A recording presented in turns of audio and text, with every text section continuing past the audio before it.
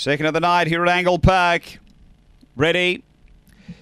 Away. Uh, missing the kick a bit there, Napoli Bale. Uh, good pace here. Mega Bound's going to push on. Mega Bound finds the lead. Look at your cracker really bustling through to second. Uh, it's all over the shop, but it is uh, getting through. Honky Tonk Gal went straight past them all. Honky Tonk Gal dashed away five or six on your cracker. Megastar Bound stacked the aces. Uh, then Moto Bale, a big gap away. Napoli Bale, Mega Bound, and Gengala Fury. But on the turn, it's all Honky Tonk Gal. Well clear of your cracker, and then Megastar Bound running through, but Honky Honky Tonk Gal, too good. Gee, Stack the Aces, kick to get on the line for second from Megastar Bound and Your Cracker.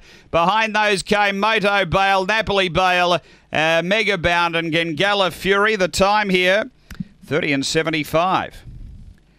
Race number two.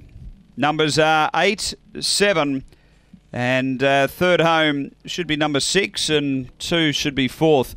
Uh, eight, the winner, Honky Tonk Gal at big odds for Bruce Lellman, who uh, had a couple in the race. And uh, big odds getting home here. Honky Tonk Gal. Uh, Bella Infrared, Honky Tonk Girl, number eight. Bruce Lellman, owner trainer. Second, going to seven. Stack the aces. Also for uh, Bruce, uh, Fawn Dog, April 2015. Bella Infrared, Honky Tonk Girl. So the uh, Litter Quinella. And third to six, Megastar Bound, Aussie Chegia. Black Bitch, January 2015, headbound Megastar Supreme. 8762, race two at Angle Park.